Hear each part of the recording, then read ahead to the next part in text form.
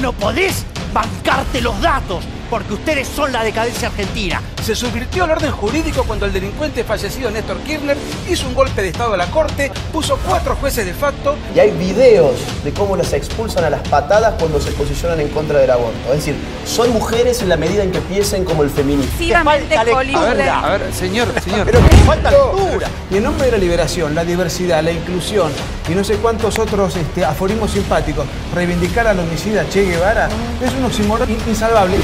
Empezó siendo el patriarcado, luego fue el heteropatriarcado y ahora es el heterocapitalismo patriarcal.